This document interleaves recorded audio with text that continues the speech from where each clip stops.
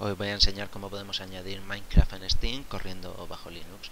Es muy simple, solo tenemos que darle aquí a añadir un juego, añadir un juego que no es de Steam. Entonces buscamos, en el directorio que nos aparece directamente seleccionamos eh, todos los archivos y buscamos Java. Abrimos, nos aparece ya aquí, añadimos seleccionados, aquí nos ha aparecido Java, entonces le damos botón derecho propiedades, cambiamos el nombre por el de Minecraft.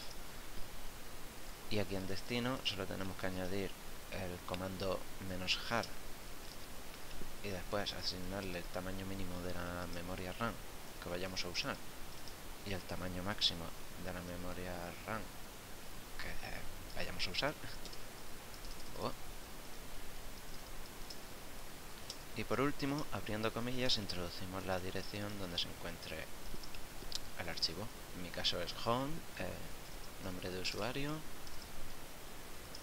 escritorio y el nombre del archivo que es minecraft.jar.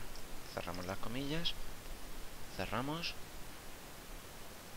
y lo iniciamos. Si todo ha ido correcto, saldrá esta ventana y ya iniciará el juego en cuanto pueda.